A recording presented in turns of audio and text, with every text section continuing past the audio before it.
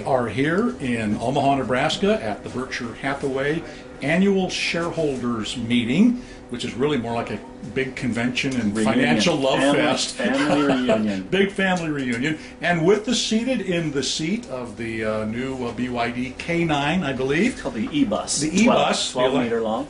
About 12 meter long bus sits anywhere from 40 to, 45 if to you want to cram a man, 60 people. So, um, and he's going to talk a little bit about us, uh, about BYD America Okay. and, uh, and what it is um, and uh, what their hopes and uh, aspirations are. So, first of all, welcome to, uh, to EV World, Michael. Thank it's you. a pleasure. Thank you. Uh, let's start off first of all. Just kind of give us a brief little background of uh, you know who BYD is and what BYD America is, what your role is. So, so uh, my name's Michael Austin. I'm the vice president of BYD America. Uh, BYD was founded in 1995. Um, what I've seen published is it was founded on about two, 330 to 350,000 U.S. dollars uh, from an investment that uh, Chairman Wang had uh, from his cousin, and uh, started with 20 people. And now, 15 some odd years later, uh, they have 200 and- over 200,000 employees. And uh, Chairman Wang is uh, one of the richest men in China, if not the richest. He, he's been the rich. It fluctuates. Right, it when his stock's up, he's the richest man Right, in China. right. Wonderful man, um, materials research scientist, uh, fabulous. I met him about 12 years ago while I was working for Motorola, Okay. and uh, began sourcing batteries from BYD initially, and uh, expanded into um, cell phone manufacturing for Motorola, and grew grew into that business. And uh, about five years ago, joined BYD as the vice president of BYD America. BYD America was established in 1999 in Chicago, Oh, okay. and um, supported uh, a lot of uh, engineering companies like Motorola, and we would put engineers on site to do joint research and development. and this is all development. basically around s- small cell phone type batteries, things like that. Basically around portable electronics. Right, right. And uh, supported a lot of components too. Uh, about 70% of the RAZRs that Motorola shipped to the market were built by BYD and uh, and badged, and, and obviously the, the software was flashed by Motorola. Right. Um, so big electronics manufacturing services partner.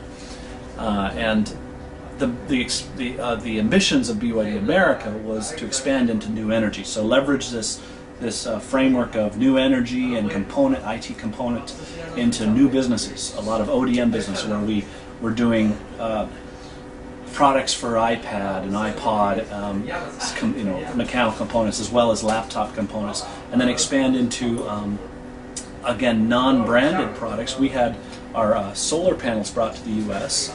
We have CE, CC, and UL approvals uh, on our solar panels, but we were labeling them under private labels.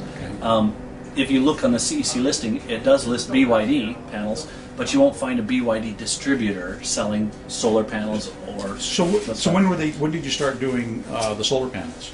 Uh, solar is about two and a half, three years ago. Okay. Um, we got CEC approval last year. Um, LED lighting we launched. Um, we launched predominantly in China, selling through Sam's in China, Sam Okay. Club, Right. and Walmart. Um, in the U.S., uh, BYD has yet to launch some of these green products, and that's really what BYD's uh, BYD America's ambition is, Okay, right. is to expand our uh, our retail offerings of green products. The vision has has grown as BYD's expanded, and uh, and the vision is uh, also grown when we we started manufacturing automobiles in 2003 in China. Right. So uh, last year, I think BYD uh, sold 560,000 vehicles, uh, not electric vehicles. These were small engine vehicles, fuel efficient vehicles in China. And China is a burgeoning market for uh, for vehicles. And uh, and what Chairman Wang envisioned was to begin to migrate to electrified transportation. And his vision wasn't just to flood the market with uh, with electric vehicles. He, he recognized that it's kind of a transference of tailpipe emissions to coal emissions, and in China, maybe not the cleanest coal emissions. So it wasn't solving the pollution problems he wanted to solve. So he really wanted to look at more uh, energy generation. So looking at BYD more as an energy company, but a green energy company. So solar, the solar investments were around creating a renewable power generation source, and then using scaled up batteries, these iron phosphate batteries that he'd invented, uh, that were environmentally friendly, scaling them up to grid level storage, and then storing that solar power and making it firm, a firm capacity, so you could begin to potentially replace baseload generation. Right. So now you have renewable power that's relevant to the grid because it's dispatchable. And, and you can dispatch it at peak times, do peak shaving.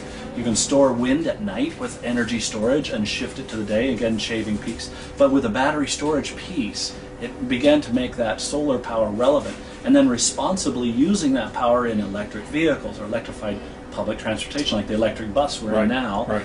as well as uh, e-taxis, electric taxis that are running on the streets in Shenzhen, and then eventually consumer electric vehicles. But the vision really was, if we are going to electrify transportation, let's go where most of the pollution is generated. And and what they discovered in China was that one bus travels about 300 kilometers, so 190 miles. But an average car only drives for two hours and maybe goes, you know, it turned out to be a 30 to 1 ratio in emissions. So mm, one okay. diesel bus Right. was producing 30 times more emissions than a single private car. So if you electrified a bus, and of course public transportation is very important in China, Right. you now offset 30 times the carbon dioxide pollution Right. and smog that you would in and they did that with taxis. The taxi ratio turned out because the taxi's driving almost 400 kilometers in a given day, Right. it offsets essentially 10 times the private cars. So electrifying buses and electrifying taxis in China would offset almost 30% of their total emissions. Right. Did ha, has as part of that initiative then over in China with the mass with with the buses and with the taxis, have you also sort of compensated then by having, com, you know, a comparable amount of solar panels that have been installed to sort of offset that, or is that something you're sort of So the- aiming for as a goal? The answer is to be enabled. We know that you know municipalities and communities uh, won't have the funding to move that quickly to renewable generation.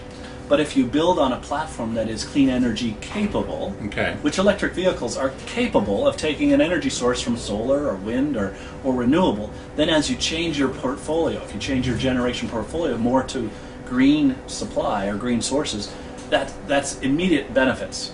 Now, there is direct emission benefits from an electrified vehicle. Electric vehicles, even though you're burn, you're using coal, Coal still. coal- it's still less impact. The smog content, especially in, in densely populated cities, Right. it, it is it is an improved impact. Right. But BYD sees the electrified transportation as a way to enable clean energies to more capably come into into play over time. Which of the, which of the markets then? Obviously, you've got a huge, growing, burgeoning um, economy in China, where standards of living are coming up. People are moving from using mass transit to bicycles to cars, Right. and of course that presents its own set of problems, as the seven, 75 mile traffic jam last last summer in Beijing demonstrate. So, s- go keep going. So, so what I'm saying i- is that which of these markets, from BYD's perspective, is uh, is the more important? The, the markets abroad from China, or those internal markets, or basically you're going to go where the opportunities are? Yeah, that's a great question. I mean, there, it really will depend on where opportunities move the fastest. Right. China has very uh, substantial electric vehicle subsidies. Yep. as well as um, in order to limit potential potential infrastructure problems like the traffic jam you talked about, Beijing has taken steps where they have reduced the number of licenses they will give to cars. Yeah, down to about a- through a lottery. 250,000, something like that. Well, I think it's twenty thousand a month. So it used to be ninety thousand a month by a lottery system. Right. However, the lottery does not apply to electric To vehicle electric, right. purchases. Right. So now you've given consumers a clean option to to have a vehicle, um, an electric vehicle, and they've given a subsidy, a pretty substantial subsidy. The F3DM in Shenzhen sells for about ten thousand eight hundred dollars. The E6 I think will sell just under twenty thousand dollars with the Chinese subsidy. with the subsidies, okay. Yeah, with the subsidies. And uh, that's a fantastic E6 that's, that's inside here in the Berkshire Hathaway show. Goes uh, has a 60 kilowatt hour power plant and goes uh, 190 miles on a single electric charge. In fact, the electric bus has a 324 kilowatt hour battery and also goes over 190 Yeah. miles with electric charge. So you, again, it's designed around the applications, and in China, uh, the average commu- or average uh, BRT, the bus rapid transits, travel about 150 miles in a given day. So Okay. they- and so it's got 190 mile range with air conditioning and with loaded passengers. So we have a little bit of uh, engineering slack in that. So let's so let's talk about the North American market. Now you began doing cell phones and and, and collaborative And then solar engineering with panels people and, and- parts for you know, um, and then with solar panels in. You've now begun to introduce some vehicles. You have the uh, fleet of ten uh, F3DMs In uh, LA. in LA. So talk a little bit about that program. How'd that come about, and how's that working? So it's working fan- fantastic. Um, the reason why we wanted to launch uh, our vehicles in the U.S. market is because drivers drive differently in the U.S. market. Uh, we glean a lot through our, our testing.